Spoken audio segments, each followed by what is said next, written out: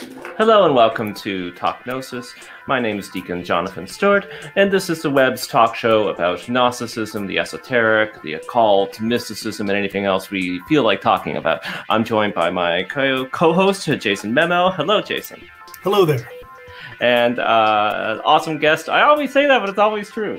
Uh, and uh, that's why we're such an awesome show. Uh, and I, I, don't think we're an awesome show because of me, uh, or even necessarily because of Jason or anybody else. It's just that we have incredible, incredible guests.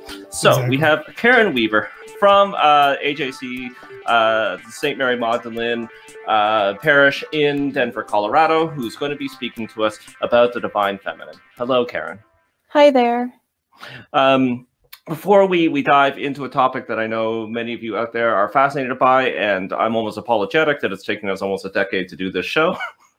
we first have to do a little bit of business where I have to do a commercial for our Patreon because I hate doing this and hate asking for money, but it's very important. I'm going to try to do it as fast as possible, even though every time I try this, I it actually gets slower. So, Jason, are are you ready with the timer? I am ready. Okay. I'll give you a countdown here. Three, two, one, go. Talk Gnosis is brought to you by viewers and listeners like you. We need your financial support to actually be able to do the show. You can do so by going to paypal.com slash Gnostic. You can donate for as little as a piece, uh, dollar per piece of media per month. You can cap that in case we do a whole bunch of media. You can also do one-time donations at paypal.com slash Gnostic. If you're unable to help us out financially, we completely understand. You can help us out by subscribing on YouTube, leaving uh, good reviews on the podcatcher of your choice, telling people about the show, sharing the show on social media, taking your favorite episode and just emailing it to a friend. Uh, uh, we need money. I hate asking for money, but money makes the world go around. It's the worst of the archons. Uh, the please a dollar per piece of media per month. Uh, the end. How'd I do? Thirty-nine that seconds. 39. Well, you know, see the record's 38 seconds, Karen. Oh, geez. So, well, but last time you got even you got to like no, a minute. So yeah, yeah. Last time it was like 10 minutes long. Yeah. Um. hey, time to actually do what we're here for. Karen, why is the divine feminine important? And and isn't God beyond gender? So I have a couple of theories on that. And the first is that while the pleroma is non-gendered and union, the um, God, we have the three emanations, of course, of God in uh, Gnostic Christianity as the Father, the Son, and the Holy Spirit. And while God is often referred to as the Father, that's more of the union, the genderless part, and then emanates as the Logos and as Sophia, the Word and wisdom. And also, um, we need polarity in the universe, the positive and the negative. And it might be easier to think that of that as yang and yin. And so these positive and negative polarities create motion in the universe. And without those polarities, everything would be stagnant and unmoving. Very cool. would you say that these polarities that, that really, for humans to kind of understand them, do, do we throw the gender labels on them so we can our our our our brains trying to grapple with concepts that can't be put into words are are able to understand it? Is it something like that? Yes, and I think it makes us easier to see ourselves in the divine if there is a more of a gendered masculine feminine spectrum aspect to the divine. Yeah. Um, so the divine feminine um, seems to be either missing or incredibly downplayed for you know more or less to the last two thousand years or mo or more in mainstream Christianity and in another yeah. sort of like Western uh, uh, forms of of religion. Like why? Well, and I honestly think that it has to do with the descent cycle and this idea of we are in this world but not of it and to quote, um, you know, Hitchhiker's Guide to the Galaxy, um, our world was generally seen as a bad idea um, or a mistake, if you will. But I don't know. I think there's a lot of beauty here, and the divinity coming in to matter, as the Gospel of Thomas puts it, um, a miracle of miracles.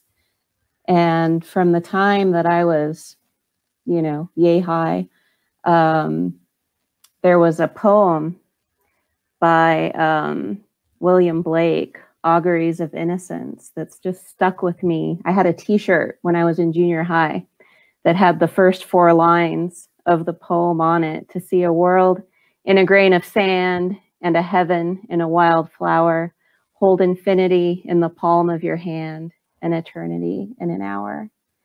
And I think there's a lot of beauty here and a lot of lessons to be learned, and that this descent cycle of spirit coming into matter that is more seen as being aided by Sophia has become devalued, something to escape, something that's a prison, something that we need to ascend from.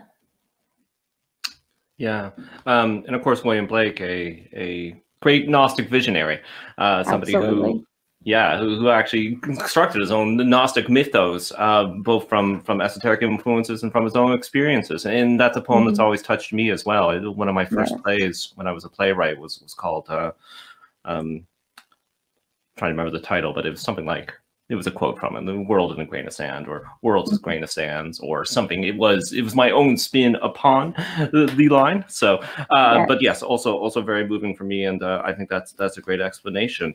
Um, so yes. oh go uh, ahead. Thank you jason. yeah sorry just to kind of dive in there too is that so i think like i think you get you you kind of created a good space for us to look at um uh like the the the usefulness or the the validity of of, of that perspective but i think the, the flip side of it is that like it, is there something that maybe that people have been afraid of or have been unwilling to grapple with that is that is why we're not seeing or why we haven't seen historically as much engagement with uh, with a divine feminine perspective i'm not sure of that exactly for me thinking of it more in yin and yang is a bit easier, and the yin is always hidden. The yin is always supportive.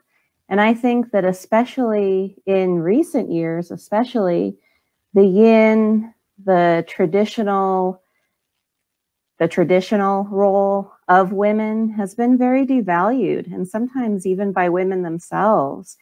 Um, women, a lot of women today, especially, want to move more into the masculine, more into the active, more into the out there. And I think that this traditional role of femininity of women there's a there's a lot of confusion there and mistaking archetypes for identity. And so if so for an example a lot of women that i've talked to if the archetypes of the feminine don't fit exactly with their lives or where they want their lives to go, then it's just kind of pushed aside and made more as um, invalid and devalued. But the health of women is the health of society. And what I mean by that is that there used to be these cunning women who passed knowledge of the household, knowledge of healing, knowledge of herbalism, um, knowledge of health, of family, of teaching. And these cunning women used to pass those along to their daughters. And that's not, I don't think it's seen as, as important, especially in modern times, which is sad, in my opinion. That actually leads into my next question, although it's a bit wider than specifically what you're talking about. But has the, the sort of lack and and hole uh, that that's caused by the missing divine feminine in mainstream religion have have had bad consequences for people? Yes. Yeah. Yes, I believe so. And I mean, of course, we had um, there were, you know, the witch trials and the um, Inquisition, although some people have really belittled the role of the Inquisition in these um, in the past witch hunts and witch trials. However, I think we need to look at the um, the deeply religious culture of the time, and it was seen as scary. I mean, a woman would go into this cunning woman's home um, pregnant and then come out and not be pregnant anymore. Mm. And of course, it was the herbal knowledge. And I think also, and I'm not sure how to really put this, but the hidden the hidden and the support structures oftentimes can be scary and can be seen as maybe even possibly potentially taking over. And of course, um, they say, you know, what do men in power want? They want more power. And so to have this community outside of the church, to have these communities of women running the households, running the families, doing all of this very important supportive work, that was, you know, competition, especially for land, especially for money. And I think that that may have been a factor. Yeah. Um, what might be seen as a as a leading question? Uh, is the divine feminine important in Gnosticism? I think the divine feminine is very important in Gnosticism. It'd be really funny if you had said no. no and no, no, no, and no, no further comment. Next no question. comment. No comment. so, yeah, can you talk a little bit about that? About why and yes. how it's important? And um, and especially in the Johannite tradition, um, to be Johannite is often seen as being Marian. Mm. So when Jesus was on the cross, um, there were three Marys and John who stayed, who stayed beneath the cross. And it was Mary, his mother, Mary, his sister, who we think we know who that was, but of course it's uncertain, and also the Magdalene. And in the New Revised Standard Version in John uh, 19, chapters 26 through 27, um, it states, When Jesus saw his mother and the disciple whom he loved standing behind her, beside her, he said to his mother, Woman, here is your son. Then he said to the disciple, Here is your mother. And from that hour, the disciple took her into his own home. Hmm. And I think that that was the birth of modern Western esoterica, because all of the current um, esoteric lodges, are dedicated to the Holy Saints John. And of course, what they value more than anything is this idea of charity and taking care of the widows and the orphans. And that to me is a big part of the divine feminine. And also in Gnosticism, we have, of course, Mary Magdalene, who went from well, where she's named specifically is um, Jesus expelled seven demons from her. And of course, the number seven has many, many meanings. Mm-hmm. Um, and then she also became very close, especially in the Gnostic scriptures. Um, her voice had merit, her voice had weight. And for those old Jewish communities, I mean, that was revolutionary for Jesus even to be talking to her, to be teaching her, to allow her to teach as well, as we see in the Pistis Sophia as they're going through all of the Psalms, to have her be a voice, to have her be a mirror um, for the other disciples, I think is very, very powerful. Yes, exactly, and it, yes, it would have been very controversial. Many, many traditional cultures, as well as many living cultures, Yes. To this day, you can't be in public uh, alone with with a woman that you're not related to. Let yes. alone, of course, traveling around the entire country. You know, with her as, as an important part of your entourage as a as a fellow teacher, right? That would yes. have been um, yes. so that that would have just blown people's minds just to even see have. that in public. Yes, it would have, I believe. Yeah. Um, so th- uh, again leads quite well into uh, the uh, next question uh, how do you understand mary the mother and mary magdalene and, and, feel free to talk as long as you want and i ask that question mm-hmm. because you know some modern gnostics um, see Mary the Mother as uh, as an incarnated Sophia, or see Mary Magdalene as an incarnated Sophia. Um, Yes. And you know, you can speak about the, your own personal views as well as, as what you see in the tradition. Yes, absolutely. So in our parish, um, we wrote a um, a liturgy, but I guess we can't really call it a liturgy since there's no Eucharist in it. yes, so it's a service, it's a ceremony, this uh, divine feminine ceremony. And we talk about Eve, um, Mary, the Virgin Mary, and Mary Magdalene as three different emanations of Sophia, almost in the pagan maiden mother crone Hmm. idea. So we have Eve, the Sophia, as the incorruptible virgin, since there's that story that, you know, the archons uh, sent, or the demiurge sent archons to molest um, Eve, and she turned herself into a tree.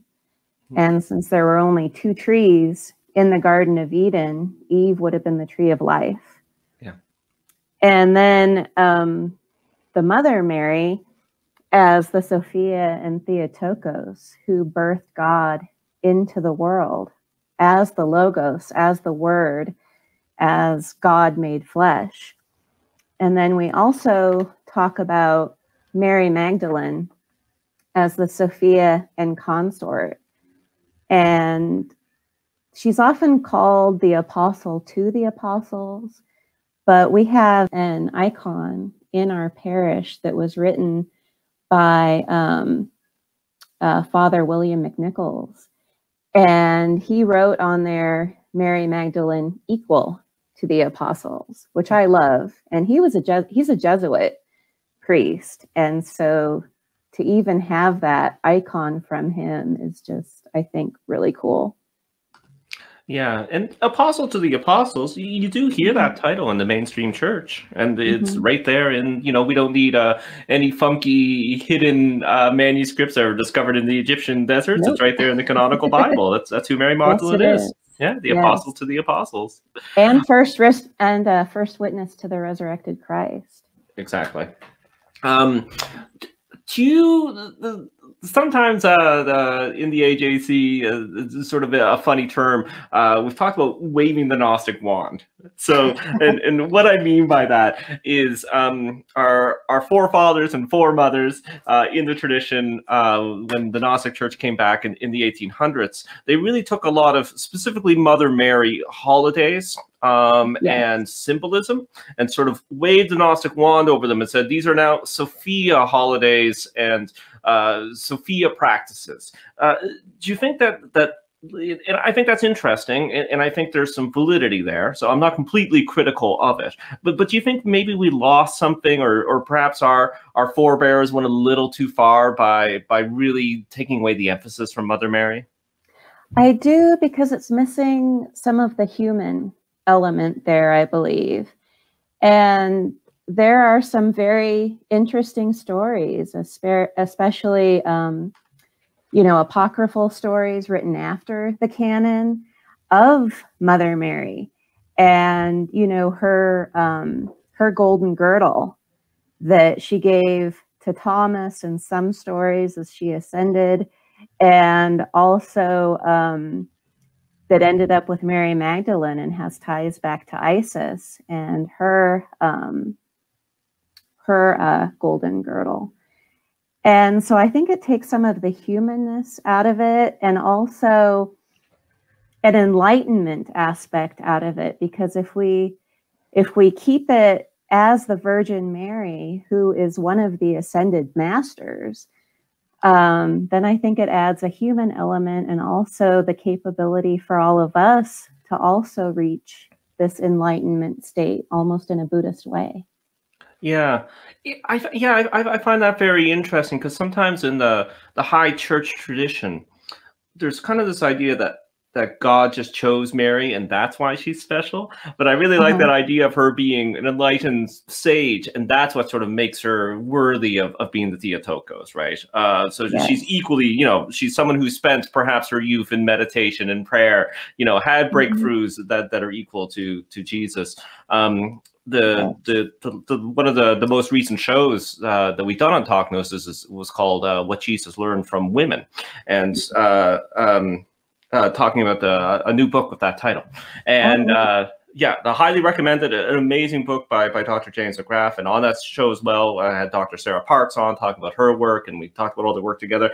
Anyways, he has an amazing chapter in that where he he you know where of course he sort of has to do a lot of extrapolating from texts and, and sometimes extra canonical texts. But he has a whole chapter about what Jesus learned from Mary uh, as a religious teacher Yes. uh, from his mother. Uh, and and what what insights into the divine she must have passed on to him uh, to help him become such an amazing uh, teacher. So yeah, I think that's very interesting and, and, and something that's often lacking. And and we do find that in some of the extra canonical literature. You know, there's stories about Jesus, uh, sorry, Jesus Mary being raised in the temple and being particularly devout and having particular insights into into the nature of reality. And then we find that um later too there's there's there's some some extra canonical texts that take place after the crucifixion when she's in the household of john um where where her and john are sort of uh teaching each other. So uh jason go ahead.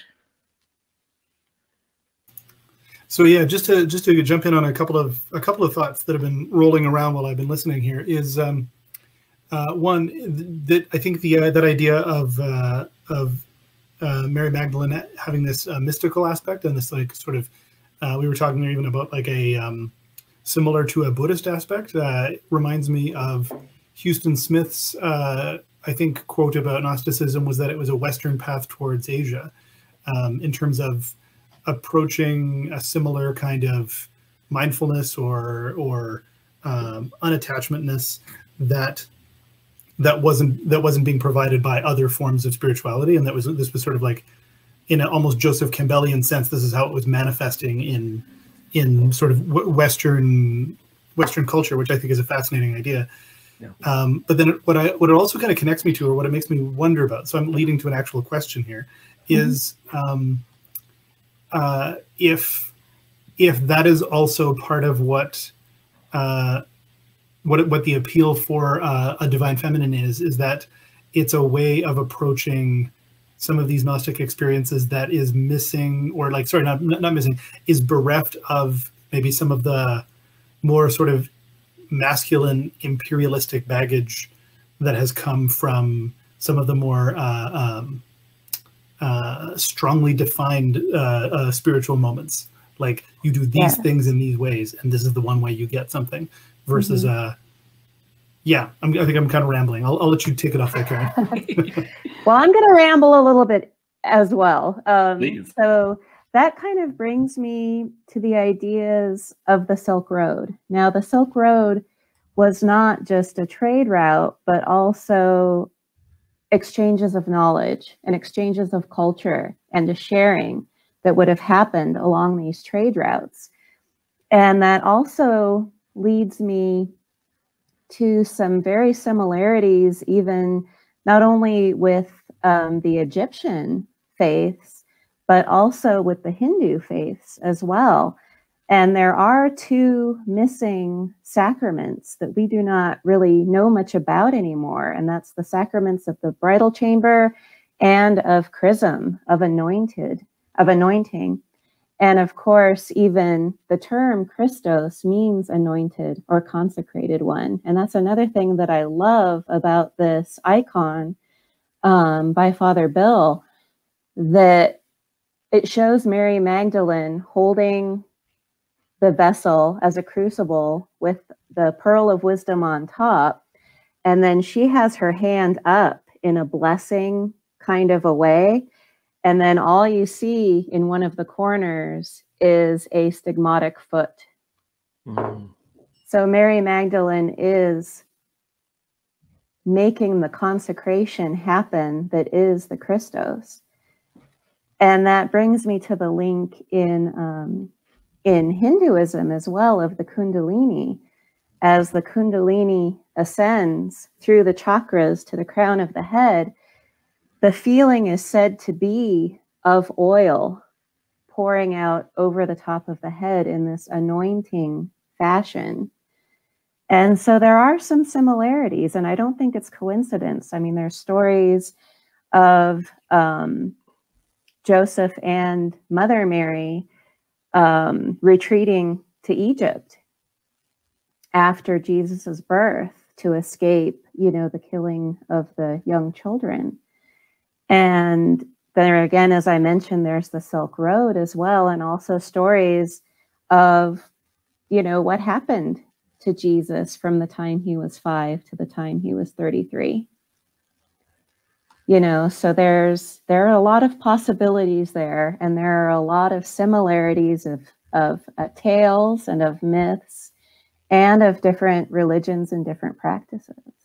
Yeah and like if you Google the, the Leviticon, our our received uh, Gnostic uh, Johannite, more Johannite version of the the Gospel of John, a mysterious text that arrived and that was rediscovered in the 1800s. Um, if you, the first thing that happens if you Google it is that it's it, it's you will get a lot of hits that say that the the text uh, says that Jesus was was an initiate of ISIS. Now, now the Leviticon doesn't actually say that. Um, uh, it's really funny that people think that, but it does say say. You, I, I, can't remember the exact quote, and if somebody does know it, please correct me. But of course, he's teaching, and uh, his opponents uh, say something like, "Oh, did he did, did he learn this in Egypt? Uh, who is he to come with all Egyptian knowledge and to to push it on to us with a little yeah. bit of paraphrasing. So that got extrapolated to while he was in Egypt, he was uh, initiated into the cult of Isis. But the, the, you know that is in our tradition, and you know the, the Leviticon is a very interesting text, and uh, we also have um, stuff from uh, from people who didn't like the Christians, um, mm-hmm. from their opponents uh, in the, the in the in the second century, saying that uh, you know picking up the story about Jesus studying in Egypt and stealing all of his ideas from Egypt. So there are there are sources that, that make this claim that we can extrapolate from there. Um, Absolutely. Yeah, something else that's cool, Karen, uh, that that I'll I'll send you if, if you're not familiar with it. I'll, and I'll try to I'll try to put it in, in the show notes. Whenever someone mentions mentions Kundalini, the heresiologists did mention that, that there was a Gnostic sect that that believed that um, you know enlightenment and the connection to the divine comes through a meditative practice where energy is brought up from the lower part of the body up the spine and united within the center of the brain. So, uh, which is so th- this is a practice, uh, a technique that that ancient Gnostics did do. We we have the records yeah. and the heresiologists, and that sounds very similar to Kundalini. Yes. And also the light body exercises from Druidry, yes. where you draw up the energy from the earth, and it starts to light you up from your feet all the way up out through the top of your head. Yes, precisely. Sounds very familiar. exactly, and uh, and for those who, who don't know as well, Kundalini um, is often uh, coded as female. So yes. sometimes called a goddess. Uh, the energy uh, is, is, sometimes understood as a goddess. It's often referred to in in, in feminine ways. So yes, yeah, very, very akin to Sophia's wisdom. Yes, precisely, yes. and, and associated with snakes as well. So also yes. another connection with serpent. wisdom. Yeah, serpent, Sophia. So uh, the re- really fascinating stuff, which really does make me think that that, that these ancient cultures uh, were in touch of each other, but also they mm-hmm. were they were having similar experiences, and you know they're going to talk about it in the same language. Mm-hmm. Um, so you're a member of uh, uh, the AJC, the Johannite Church's uh, chivalric order, which is the Order of the Temple and St. John, the OTSJ. Now, now, if we talk about chivalry and knights, you know, if I say the word knight, uh, people yeah. are going to have a very masculine image in their mind, right? Uh, you know, swords Absolutely. and shields and duels. so, isn't this stuff pretty male? Is is there room for the divine feminine chivalry? I believe so, um, but there is some history there. Um, of course, Bernard of Clairvaux um, wrote the original rule for the Templars, and at that time it was very much forbidden for the Templar knights to associate with women, um, to kiss women, even their mothers. Um, but that didn't last very long. Um, and also, Bernard of Clairvaux had some very interesting ideas about the masculine and feminine and the projection, the project, the projective and the receptive aspects. And he saw it much in the same way as like the Native Americans see it. Um, whereas the masculine is projective in the physical, but receptive in the spiritual and the feminine is receptive in the fem in the spirit in the physical, but projective in the spiritual. And you can see in the yes, in the spiritual. And you can see that in the Native American dances, um, where the women's movements are very small and controlled, and they're dreaming a dream up into the ether. And then the masculine, the male dances are very elaborate and pounding and jumping around. And then the drummers are just beating all that into the earth. And to bring that back to knighthood and the Templars, um, there were, of course, one offs um, of female knights, and you see that later as well with, say, Joan of Arc and some other um, uh, Chinese warrior queen figures. But where the feminine really shined in the Templar orders, such as the Hospitallers and the Cistercians, was in the caretaking, was in the healing, was in the medicine. And so there we go back again to these um, that the health of the women is the health of the society. And it was the women who were really behind the scenes, keeping everyone healthy, keeping everyone taken care of, keeping everyone clothed, keeping everyone fed.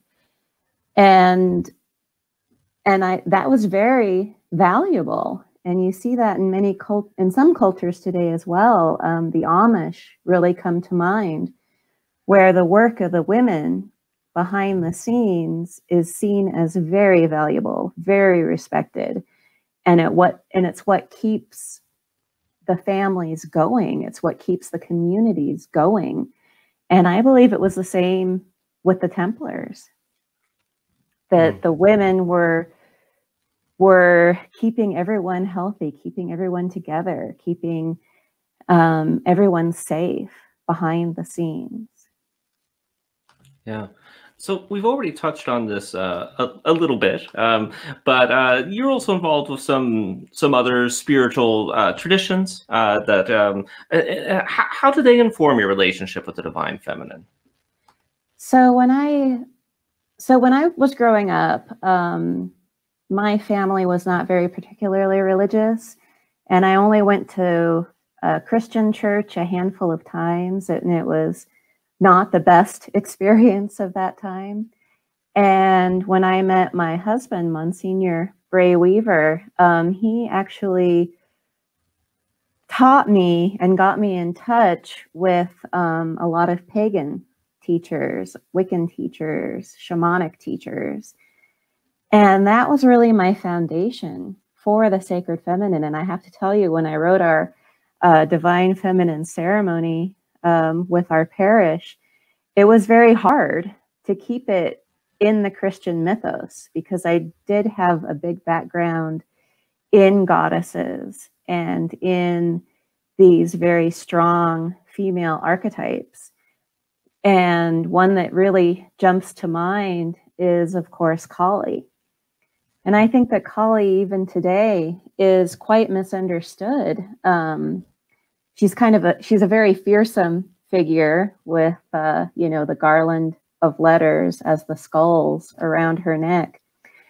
And um, i often joke kind of how some people joke about monsignor bray and that if you asked her as the mama bear um, or mama wolf um, for anything that was in her power she would grant it to you. But if you tried to take it from her or take it from her children, then she'd probably add your head to her collection. and um, and some of the funny, well, not so much funny, but some of the interesting symbolism in many of the statues of Kali is she's holding her tongue between her teeth. And that's been kind of seen as a coy maneuver because to stop her rampage against the demons, her husband one of the aspects of Shiva, laid down beneath her so that she would step on him, which in the Hindu culture is very, very rude. Hmm. Um, to touch anything with your feet is very rude. And so it was kind of seen like an oops, a coy maneuver. But what it has to go back to are these three gunas, these three qualities that um, are very important to keep in balance And sattva, the more spiritual aspect, is the color white of her teeth. And then the rajas, this fire, this passion that was out of control, is symbolized by the red and of her tongue. And then, of course, the tamas is seen as as dark, as black, but it's also our recovery time, um, our sleep time. And so to bring all those into balance, um, I believe the um, the Ayurvedic um, aspects of that culture is very compatible with the Gnostic Christian ideas of the feminine, and trying to keep all of these aspects of ourselves in balance and in check and being more beneficial rather than detrimental. Yeah. Um, that reminds me, and uh, um, often guests will say something that's like, "Oh, geez, I really need to do a show on that." And, and of course, now uh, now you've given me three because uh, now we have to do a show on Blake, uh, oh, Jason. Yes. Jason, we, we have to do a, uh, a show about um, Hitchhiker's Guide to the Galaxy as a Gnostic text. Done. We'll add to the list. yep. And then the third would be a, a, show on Saint Sarah the Egyptian, who is actually known um, by the Roma people as Saint Sarah the Kali. Uh, because the Roma come from India and uh, they uh, brought their traditions uh, of, of Kali and uh, combined her with the Christian figure of Saint Sarah when they when they got to France. So there's another one of those those interesting connections, but it's not one Very of those. Cool yeah, it's not one of. I mean, it, it, just blew my mind when I found out that's what they call her. so, um, so there's there's so. yeah, three three more shows you've given us, Karen. Well, awesome. uh, I, I I'm through our, our question sheet. Where we're getting into the wrap up. Jason, do you, do you have any uh, final questions, thoughts, uh, themes that you want to you want to ask or speak on? Yeah, I think like one of the things that I've been um, that I've been thinking about as well is that like uh, this maybe treads into territory. The, the, here's the trick: is that like I have all these thoughts, but I don't have a ton of research, so it's all just hot takes. Um, this is the hot take show. That's true. Yeah. yep. um, oh, and uh, you guys are getting the divine presence of my cat right over there. That's, oh, there uh, we go. Nice Yay! Um, no, uh, so um, was, whatever I was going there was the the thought about so like i know that uh, uh, for a lot of folks that i that i've had as friends and, and uh, colleagues is that they often find um, uh, church as it's generally defined in a like sort of roman catholic sense or um, or really religion in general as being uh, distinctly male and distinctly patriarchal like as a thing about enforcement. Um, and i guess like again this kind of goes back to some of my earlier questions but is uh, is is that also kind of an appeal of the divine feminine is a way like it's it's, it's sort of an um it's a different if it's a it's a different offering perhaps to people who might be yearning for a for a connection but like are are nervous about maybe uh, aligning with something that they've actually in in general in other parts of their life moved away from yes absolutely and um so our our parish is named St. Mary Magdalene Parish, and there were a few reasons why we chose that. Not the least of which is that we wanted to be a home for those who felt disenfranchised, for those who felt separate from the church of their upbringing. And so we chose that for very important reasons. However, it is still there. And I know that right now, especially, we've been talking to a lot of millennials, and I'll put in a little plug for Monsignor's Bray's Monsignor Bray's talk at the upcoming um, conclave for the Apostolic Johannite Church. And we've been talking to several millennials, and their their experience growing up was very controlled, very helicopter-ish, um, no real choice, no real way to fall down and make mistakes and find that wisdom that Sophia so greatly embodies. But those aspects are there, even in the modern church, they're just hidden. And the church itself was seen as feminine in the Middle Ages, especially. And and of course, the Marys are there, but hidden. And in the chrism in the oil, I believe, is also deeply feminine for that anointing aspect. and and I think it's there if you can find it. And unfortunately, we've lost some of that, especially like with um, the old order of the deaconesses. Hmm. They, um, you know, if if there was a charge of abuse in a marriage or something like that, it was the deaconesses who, of course, would interview the woman, who would inspect the woman to for injuries as evidence and it was also the deaconesses who performed the baptisms on adult women. And of course, they helped the women in taking care of their families and in taking care of their communities.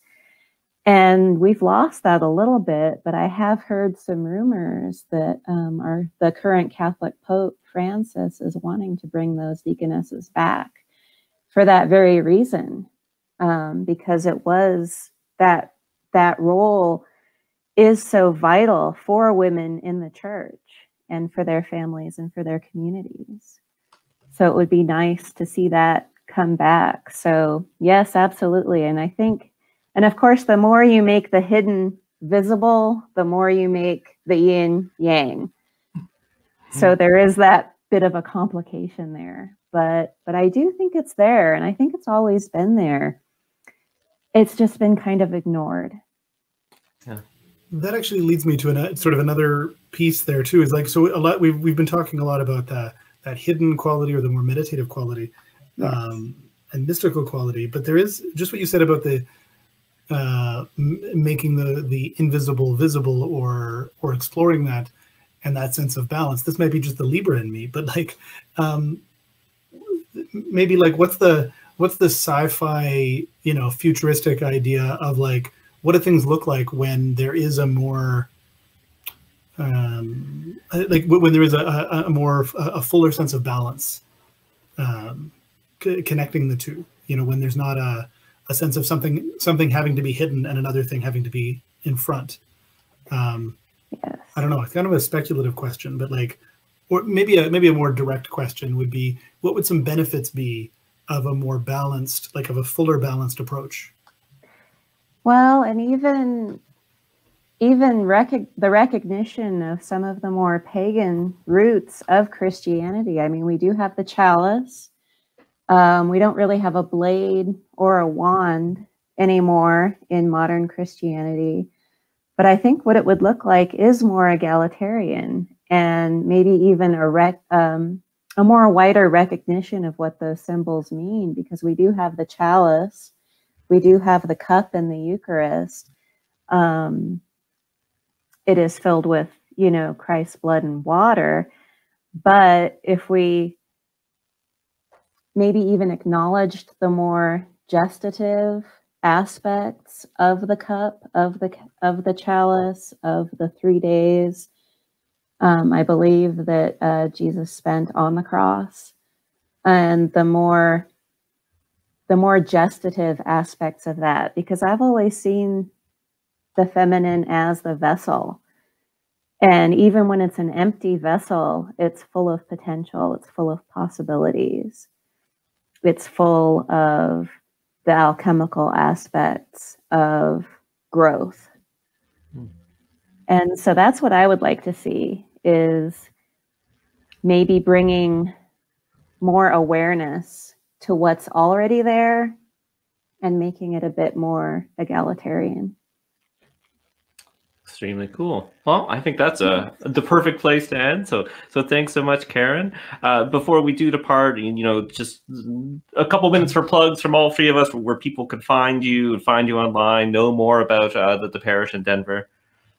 Yes, so we um, we do meet in Denver. We have several um, in person and online um, events. The best way to get a hold of us and what's going on is our parish Facebook group, AJC Magdalene. And we've got our schedule up there, our Zoom links up there. We also, so on Sundays at uh, 10 a.m. Mountain, we have a bit of a homily discussion group just on Zoom. And then at 1 p.m., we have our in person Mass at um, the Evanston Center in Denver. And then we've also been um, broadcasting it on Zoom and also putting the majority of our homilies as videos on the Facebook group. And then we also have a Monday evening discussion as well as an a Wednesday evening, so a little bit later tonight, uh, meditation on the Facebook group. And then the third Thursday of every month, we do perform our feminine ceremony. Um, and it hasn't been getting a lot of attention, but I think I need to advertise it more. Perfect. yeah, I was I was fortunate to uh, to be a participant in the the ceremony uh, for for Conclave in Denver, and it's it's Yes. definitely very powerful, very moving. So check it out online, and if you are in Colorado, uh, of course, all of the programming that Karen mentioned. But if you get a chance to do their uh, divine feminine service, I, I highly recommend it. Hey, talk about Conclave. Uh, it's online this year. So uh, the first time, possibly the last time. Uh, it's uh, the AJC's uh, big. It's it's a mix of a conference. It's a mix of a retreat. It's it's it's really nifty. It moves around usually every year, but of course, due to COVID, uh, it's uh, it- it's all going to be online. So this is a really special chance for you to take it in. So go to johannite.org slash conclave, and there's just a whole host of amazing speakers both from within the church, outside of the church, talking about a, wide range of topics from spiritual practice to uh, intellectual understandings of modern Gnosticism to a lecture on Jung. It, it- it's really going to be a fantastic time. It's at the end of May, and you can register at johannite.org uh, slash conclave. Uh, for my plugs, um, mileendmeditation.substack.com. Uh, I have some training to do, kind of secular, open meditation uh, for everybody. Uh, so what I do is uh, Sunday mornings at 11 a.m. Montreal time, that's Eastern Standard Time. Uh, we do an hour of meditation. It's a mix of, of silent and guided. We've got a great group that comes out for it, and it is uh, free. It's open to everyone, no matter what your spiritual tradition or if you're not spiritual at all, because it's in the the mindfulness movement. And uh, that's every Sunday morning. So go to mileendmeditation.substack.com. And I know some of you listen to this as a podcast. So instead of slurring my words, that's the word mile and end in meditation.substack.com. Um, my uh, parish in Montreal, uh, Holy Grail Parish, is uh, only online right now because of the COVID crisis. So uh, every second Sunday, we do a um, a meeting in in the evening. It's usually pretty meditation based, uh, more specifically, you know, Gnostic, more specifically part of the Johannite tradition, uh, more mystical meditation and some discussion afterwards. Feel free to check that out again because uh, if you're not in Montreal, uh, once the crisis is over, we are going to go back to doing it in person. So in the meantime, it's open to the entire world. Uh, Jason, do you got any plugs? Uh, not really, actually. It's just uh, jasonmemel.com is usually the the best best place to find uh, what I'm up to. With my like links to Instagram and Twitter are on there, and um, yeah, through those you'll you'll basically see whatever it is that I'm talking about or interested in. Um, uh, maybe one weird plug is that I uh, I'm on Instagram and I tend to try to post a lot about my coffee uh, as, as just a cozy ritual. So if you're interested in uh, like a, just a small little thing that I do every or every day or almost every day um, to to celebrate a small thing in the day, um, yeah, give that a check. But you can find it all at jasonmemel.com. Perfect. Everybody, uh, check that out. Okay. Well, this is Deacon Jonathan Stewart uh, signing off. Uh, goodbye, everybody. Bye. Thanks all. Bye.